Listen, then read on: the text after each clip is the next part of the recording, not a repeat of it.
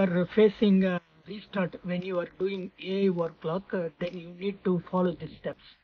Just press F12 so or del key to enter into the BIOS. So just go into BIOS.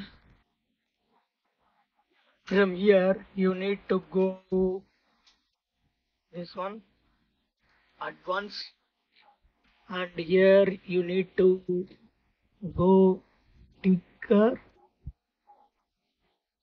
80 per just click this button. From here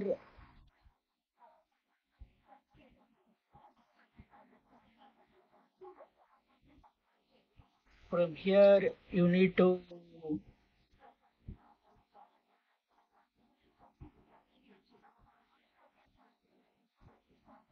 here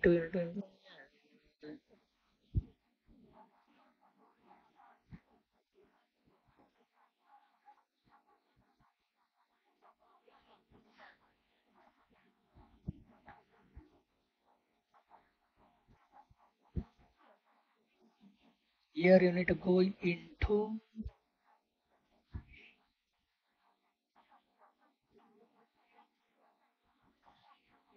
CPU, CPU, CPU countries. Where is the CPU country?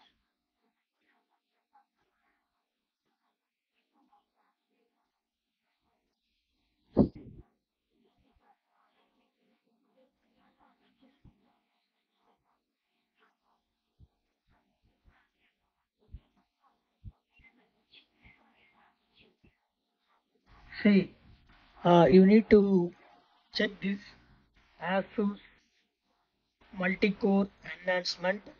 From here, you need to do disable and enforce all limit. Then you need to save,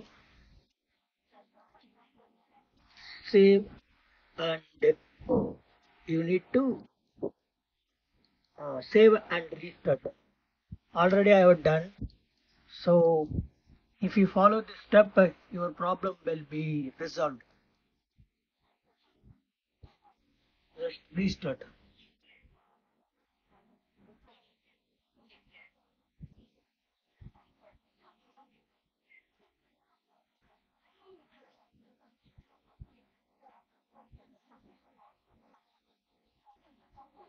After you starting a system will be start normal.